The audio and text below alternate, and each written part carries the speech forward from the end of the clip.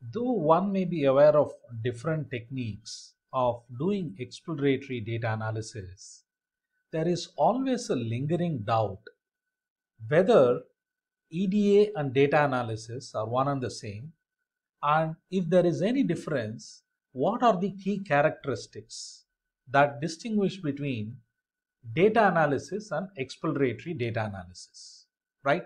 So let's understand this difference between the two before proceeding further uh, with other lectures, right?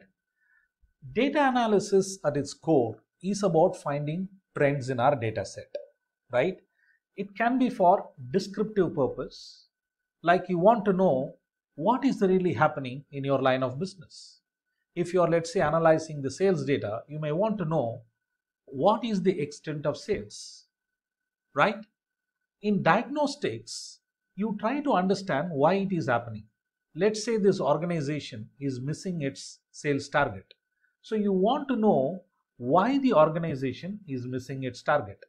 Is it coming from a specific product line or a particular region of a country is contributing or whether a particular salesman is contributing to the problem. We are essentially trying to figure out why that has happened, why the problem has happened. We are trying to diagnose the problem, right? That is the diagnostic analysis. The third one is prescriptive. Having known the problem, what is really the solution? How can I improve the sales or how can I make the sales exceed the target given by my organization? So that is prescriptive. So these are the three different types of data analysis that we do, right? Nowadays, machine learning is being used to assist with the three types of data analysis.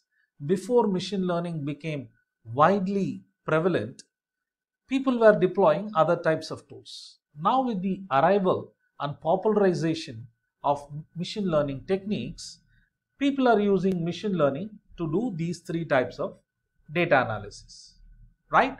I hope you all understand what is data analysis. Then what is this exploratory data analysis, right? Exploratory data analysis is a philosophy or I would even call it as an approach to make sense of the data, to make the data more valuable for data analysis. Please understand, the objective of data EDA is to make the data more valuable for data analysis. I want to remove missing data. I want to remove outliers. I want to remove multicollinearity. You're going to see about that, right? So EDA is about a philosophy. It's an approach, right? To make the existing data set more valuable with missing data, with outliers, with multicollinearity what will happen to your data analysis or what will happen to your machine learning model? The accuracy will be low. The reliability of the data analysis will be that much lower, right? What is the most important thing in machine learning? We want higher accuracy, right? Always think from the perspective of end users. End users are using machine learning to take decisions. So machine learning has to be reliable which means the accuracy of machine learning models need to be higher. How are we ensuring that?